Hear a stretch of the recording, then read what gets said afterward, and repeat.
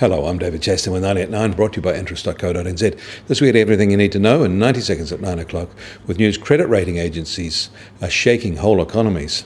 But first, the latest US Fed minutes released is getting market attention. These show that the Fed thought it would be soon be appropriate to raise short-term interest rates again, and markets are taking that as meaning the next rate hike will be in June. These minutes also show a consensus on a plan to shrink its $4.5 trillion stockpile of Treasury and mortgage securities.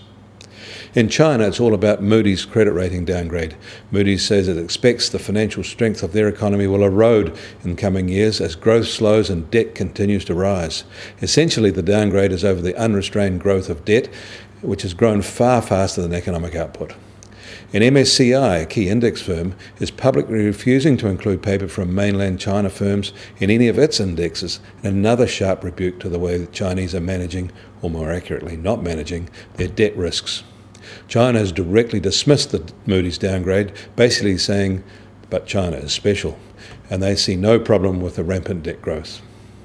The initial impact of the downgrade will be rising costs for Chinese companies who have raised debt outside the country, and that will push them back to raising it at home, potentially creating a negative feedback loop. More broadly, world trade flows grew in the first quarter, continuing a recovery that began in the second half of last year. It's an indication that the global economy may be set to enjoy a stronger growth period. The revival in trade flows has also been noted by freight companies.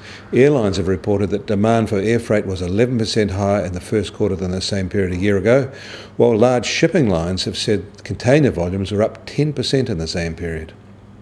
In Australia, the smaller banks have been fretting about their recent credit rating downgrades, and there is growing concern that there are changes afoot for the federal government to put some distance between it and the implied guarantee and support for the four pillar banks.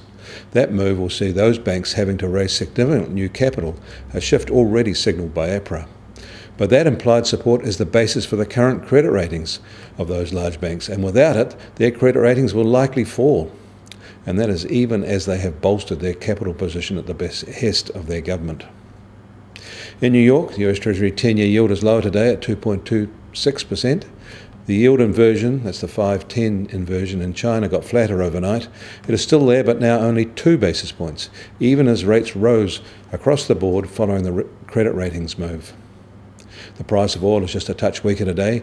The US crude benchmark is now just under 51.50 a barrel, while the Brent benchmark is just under 54. Gold is slightly higher, however, now up at $1,257 an ounce. Meanwhile, the Kiwi dollar has been holding its own, buoyed by yesterday's strong trade balance data, and is now at 70.3 US cents. On the cross rates, the Kiwi is at 94 Aussie cents and 62.8 euro cents. The TWI is at 74.6. That's a one month high. And Bitcoin has risen even higher in the past day, steadily rising to $2,477, another 9% in 24 hours. I'm David Chaston. That was 90 at 9, brought to you by interest.co.nz.